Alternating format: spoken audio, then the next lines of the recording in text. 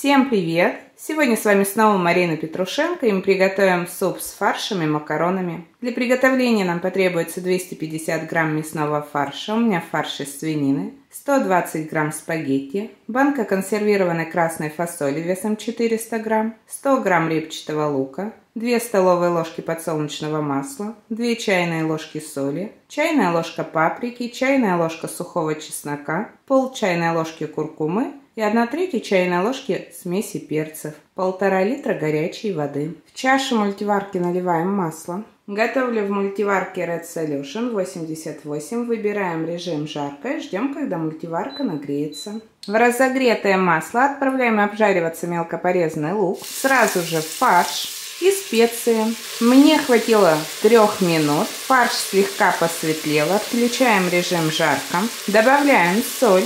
Фасоль промываем и добавляем в суп.